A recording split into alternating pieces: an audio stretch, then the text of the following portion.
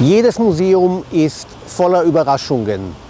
Dieses hier ist ein ganz besonderes Museum. Kommt einfach mit.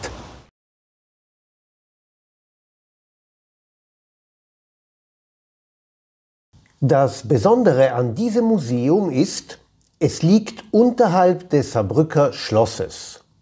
Und dieses Schloss wiederum wurde auf den Ruinen einer mittelalterlichen Burg erbaut.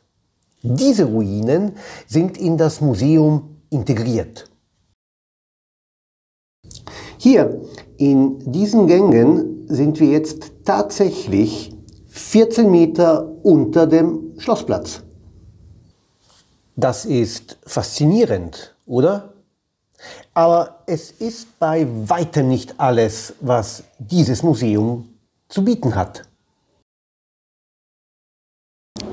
Hier im Historischen Museum Saar wird 200 Jahre spannende Geschichte erzählt.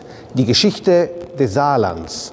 Von der Kaiserzeit über den Ersten Weltkrieg und das Saargebiet, den Nationalsozialismus und die Nachkriegszeit und die Saarstaatzeit.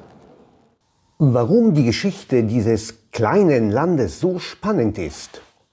Nun, das Saarland war im Laufe der letzten 200 Jahre bayerisch-preußisch, deutsch, dann international unter der Verwaltung des Völkerbundes, abermals deutsch, kurzzeitig sogar ein eigener Staat und ist seit 1957 ein Teil der Bundesrepublik Deutschland.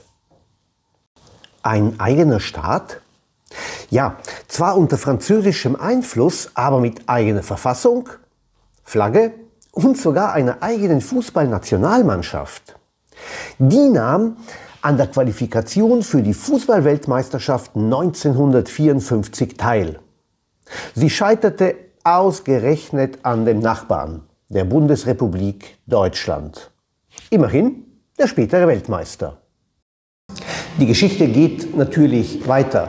Das Historische Museum Saar aktualisiert ständig die Sammlung und bietet auch neue, ganz besondere Exponate.